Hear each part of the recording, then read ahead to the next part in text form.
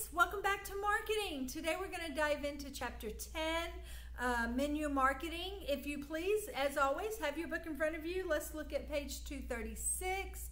Um, the factors influencing guest food selections. An effective marketing plan will get customers in an establishment's door, but did you know the menu is actually an operation's most effective sales and marketing tool. It, it's really crazy, and and customers select menu items for a variety of reasons. Um, when I walk into a restaurant or establishment and I look at the menu, I may select foods um, based on different reasons or criterias, or or my decision making process is totally different um, than the person sitting next to me. So um, menus are important to the success of the restaurant and the food service operation. Therefore, there are several concepts that you should know as a manager about using the menu marketing tool, using your menus to market your customers. One is you need to know the key factors that influence customers' menu selections, okay? You also need to understand food menu design. Uh, menus are designed in, in, specific ways to to um, promote or target you into buying specials, which specials may be a, a way that um, the establishment increases sales um, or get rid of.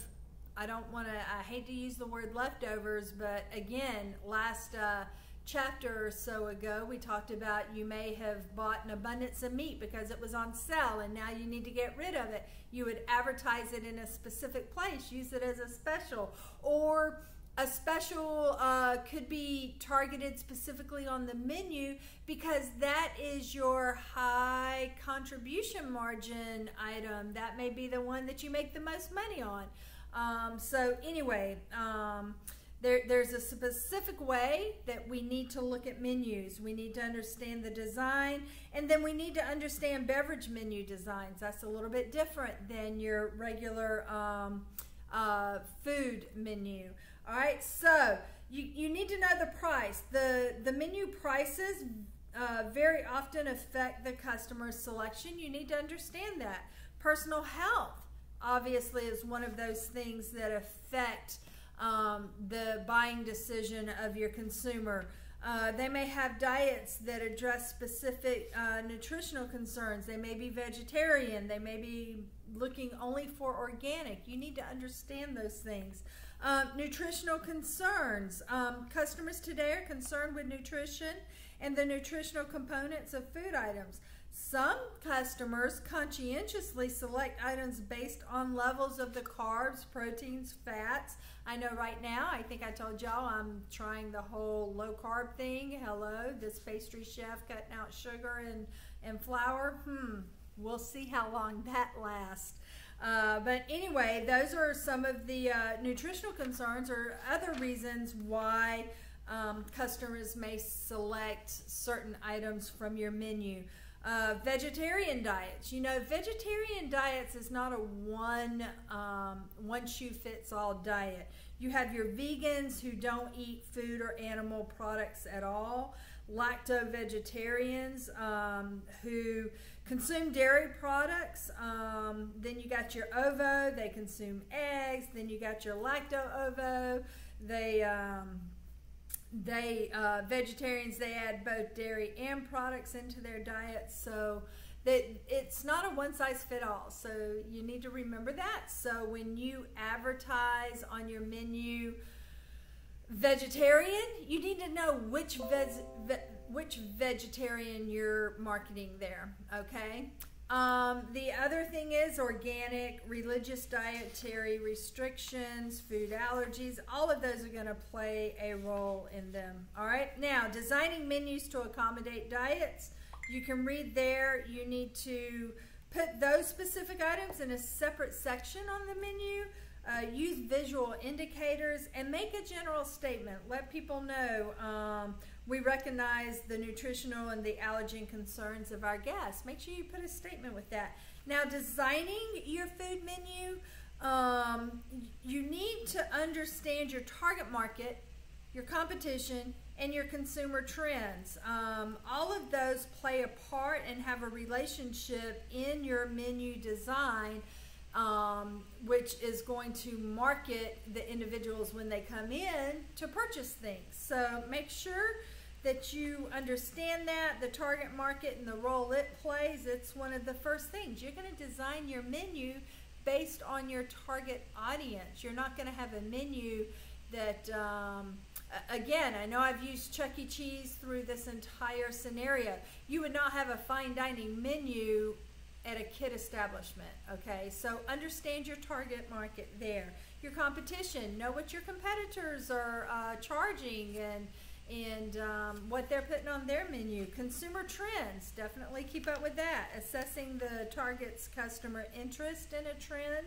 Um, investing in equipment not currently owned to prepare the new items. Um, testing and modifying recipes. How many of us are going to put a recipe on a menu not even test it? Come on, we got to make sure we know the ins and outs of that recipe, our um, food waste, uh, our accessibility, how much it's going to cost, where we're going to get it from. Um, you know, all, those kinds of things before we put something on a menu. Uh, then we got to have the proper employees or retain the cooks that are going to prepare it. So we need to make sure we understand that.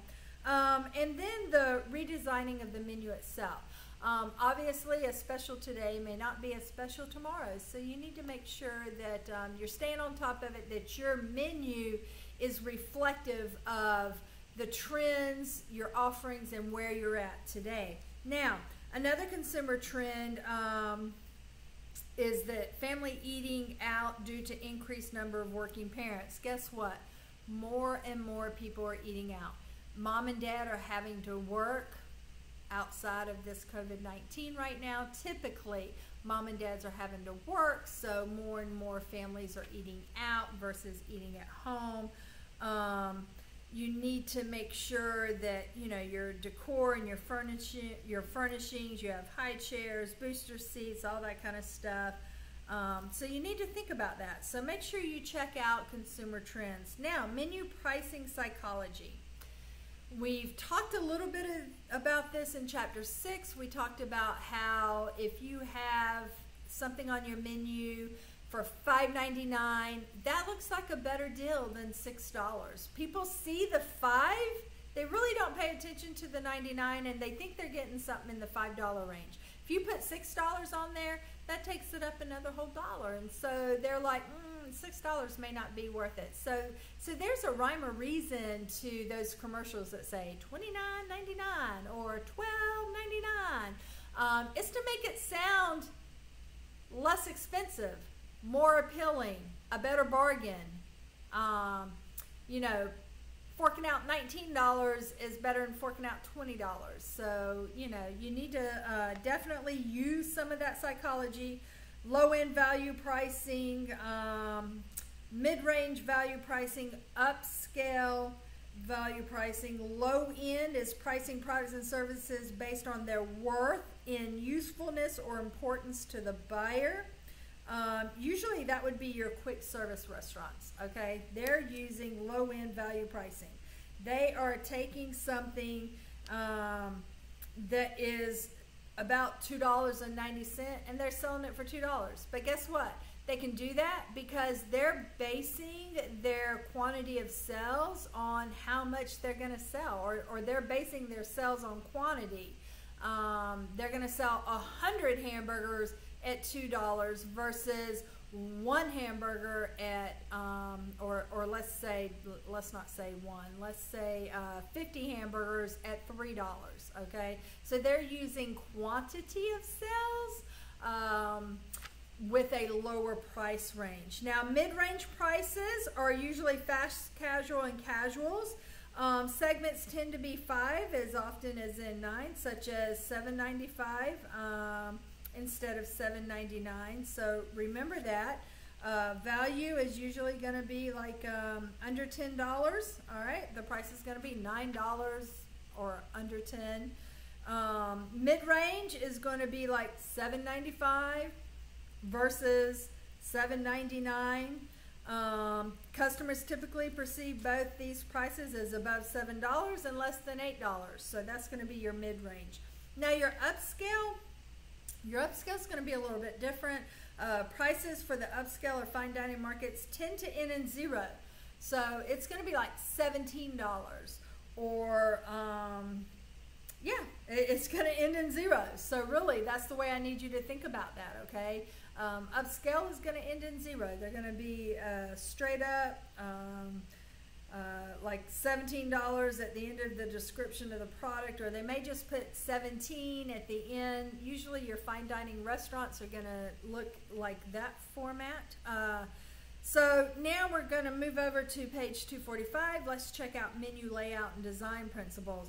Now, a la carte menus, these are menus that have different prices for each menu item, okay? A la carte has a different price for each and every item on your menu. Where the table d'hote menu, these menus offer an entire meal. So I'm going to think about um, um, French courses. When you have a coursed meal, you have one price and you may have a three course meal. You may have your um, appetizer or your starter, your um, you may have your main meal and a dessert. That would be your three course or something of that nature. Um, so just keep that in mind. That would be one price for an entire meal. All right. Um, that and you know what? That also would include like banquets. You pay seven or thirty nine dollars and all you can eat uh, banquet meal. All right. Now, um, cyclical menus. All right. These are menus that usually they're like for cafeterias or institutional um, establishments, your schools, your nursing homes, um, things like that. They have a cyclical menu, which is a menu that changes every 28 days. Okay, it's the same menu, but it rotates every 28 days. And then the du jour menu, the du jour uh, menu changes daily. All right, so that would get kind of crazy. I mean, a lot of times I know um, Edgar's, they have seasonal menus, so they change their menu seasonally. Um, so there's different styles and how often you're going to change them. All right, now table turn. How many of you know what table turn is? Yeah, table turn is how many times in a service time frame that table seats customers. How many rotations? All right, so that's a table turn. Um, it, it, refers to the number of times a dining room table is occupied during a meal period. Now, um, some things that you need to keep in mind when you are experimenting with menu design. The menu must be attractive and present a first good impression. Come on, it needs to be attractive. Uh, should not be cluttered. Oh my gosh, like some people's, um, I'm thinking of their cell phones with all of the apps on there. So cluttered you can't find what you're looking for. Um, the print size, you need to think about your print size, okay? You don't need it so small that uh, you have to have your glasses on to read it, and you don't want it so large that you don't have room to get all your stuff on there. Size and shape, that's going to be indicative. Um, the size and shape of menu are important considerations and they should be such that the customer can handle your menu easily. Um, your typical, they've got trifold, single fold, um, they got your prime real estate sections there. We're going to get to that in a minute. Um, so anyway, yeah. So a menu. I mean, we we see single page menus. It, it just really depends on what you desire for your establishment. You just want to make sure though that it's it's manageable. It can fit in their hands and it can fit the information it needs to. All right. Now menu layout. Menu layout refers to where the items are placed on that menu. Um, now the prime real estate areas those you can, I want you to look at Exhibit 10.8 on 247. Those that give you some ideas of where prime real estate. Prime real estate are the areas that are most frequently viewed by the customers. That is going to be the first space that's going to come into the vision of your customer. So make sure that when you're designing your menu, you put your important things or or your um, your higher profited items there or the things that are your specials there. That's your prime real estate. All right. Um, type selection there. Uh, type size is the size of the lettering. All right. Do you want it 12 point, 14, you know, and, and what font? So that's your um, type size. You got to think about your colors. They need to go together. Your white space. White space is the areas that don't contain any information. That's known as white space. Um, leading is the term used to describe the vertical spacing between lines of type. So that's your leading. Now let's talk about menu item descriptions. Descriptions of quantity, accuracy of those quality indicators, use brand names. Um, I talk about Wagyu beef. You want to make sure the name Wagyu is in your descriptive line there. Um, also, menu planners must consider uh, some of the issues when writing a menu. You want to write plainly. Define the menu items carefully. Spell the words correctly. Um, write carefully um, and, and make sure you're putting a enticing description with your menu item. It needs to be something, um, you know, like salmon fillet served with a baked potato ladled uh, with our special sauce, or you know, make it enticing.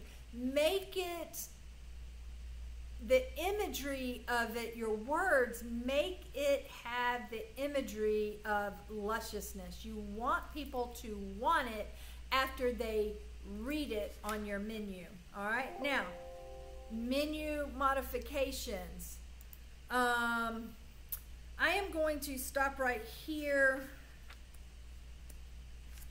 Menu modifications, um, you need to establish your goals for the new item, determine possible new menu items, um, establish a testing system. You need to identify, test, and refine alternatives, consumer field tests, evaluate the tests, and choose your course of action. Um, you definitely, there is a way to go into designing your menu and testing it, so make sure you look at that. Now designing your beverage menu, I want y'all to take a look at that. Um, you're to definitely offering alcoholic beverages to customers is an integral part of the dining experience. So you want to make sure that you have that menu organized, well thought out, just like you do your um, food menu. Um, you want to categorize it, and then your wines, you're going to put those together in a specific manner. So make sure you check that out and read that in your book. As always, if you have any questions, give me a call. I'm here for you, and uh, I'll see you in chapter 11, our final chapter. Yay! Um, I'll see you there, and, and unless you need me for anything, I'm going to sign out now. Y'all have a great evening. Bye bye.